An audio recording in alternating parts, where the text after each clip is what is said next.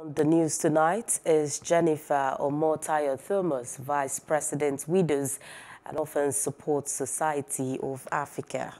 Glad to have you on the news tonight. It's a pleasure. Now, uh, marking International Widows Day 2022, what can you say is the situation of widows in Nigeria and the theme of this year, sustainable solutions for widows' financial independence? How can this be achieved? Um, that's why we celebrate this um, Widows Day every 23rd of June. It's a United Nations program. And um, looking at um, more widows joining the previous one, we cannot say that the problem has actually been eradicated because okay. um, there are some widows that can take care of themselves. And we have a lot of widows that can't even take care of themselves. Because even before their husband died, they were doing petty things. Now remember that um, a responsibility that two people were managing to carry, and all of a sudden, it's just one person and maybe the woman is having eight children, five, even to cater for one in our present economic situation. It's not easy. How much more when you have more than one and you need to clothe, you need to feed, you need to send them to school. Some of these men died without even leaving a house. Oh. And even when some have left houses, the family of the man comes and confiscate everything and the women are just out there without support. And that is why NGOs like us are calling for good Nigerians to partner with all these NGOs and churches and other religious bodies to help these widows because it's not really easy for them. Even though I'm not a widow, but I'm a woman and I see these things. There's hardly a day we don't find one widow, two widows in our main office. All right, so according to the theme for 2022, it says sustainable solutions for yes. financial independence for widows. What are the sustainable solutions? Uh, basically, giving money to a woman is not enough. Okay. They need to acquire skills, how to manage funds that are being given to them, think of good business ideas, that they can do with this support they get. Remember, if you give someone fish today, you don't expect to be given another day. But if you know how to catch the fish yourself, you are better off. So what we do as a foundation, okay. we equip these women. Like last year, we helped them to go through skills like bead making, soap making, um, catering, things that could help to bring put food on their table. And that is the only way they can sustain.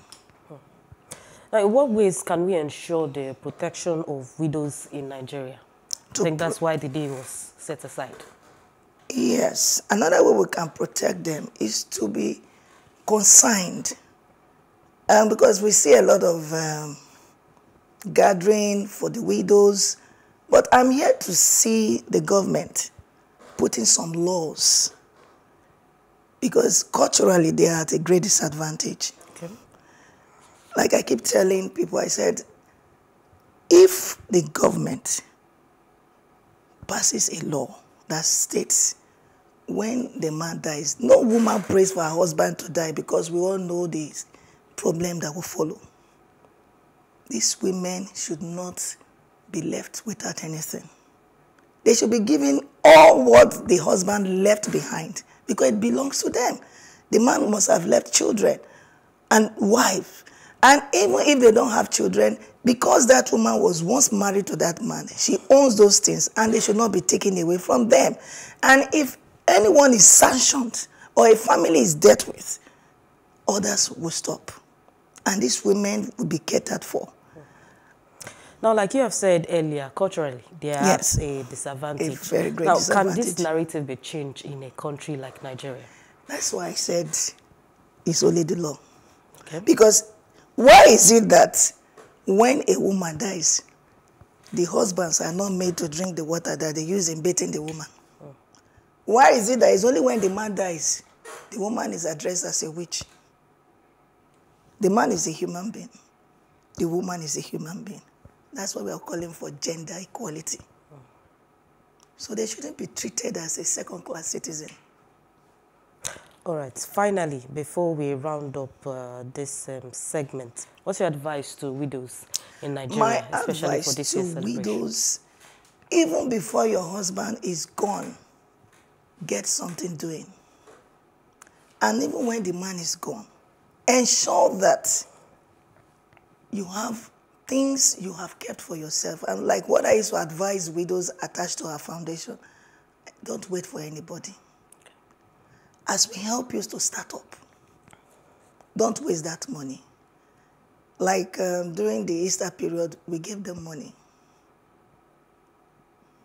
to add to their business. We have come back to school for their welcome back to school for their children every September. We give clothes, we give food items.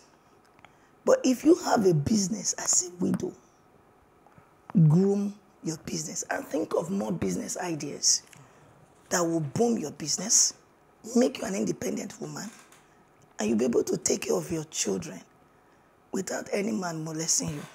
All right. Thank you so much for your contributions on the news tonight. Um, Jennifer Omotayo Thomas, she is the Vice President, Widows and Orphans Support Society of Nigeria. Thank you so much for your contributions. Please do subscribe to our YouTube channel and don't forget to hit the notification button so you get notified about fresh news updates.